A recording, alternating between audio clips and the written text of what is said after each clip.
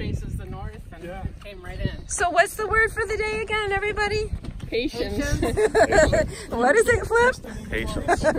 Patience. Zach? words. Patience. And a lot of Donnie? finger crossing. yeah. Donnie? Yeah. Amy? Hiya.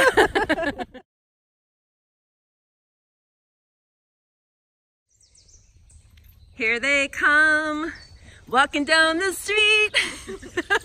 the coolest people you ever did meet. Hey, hey, it's the patient people. All right, I guess I haven't gotten myself in there. Hi. what? this is the Horicon Marsh seventh annual walk. And we got lucky with a little break in the weather. So Yeah, we didn't go at all last year.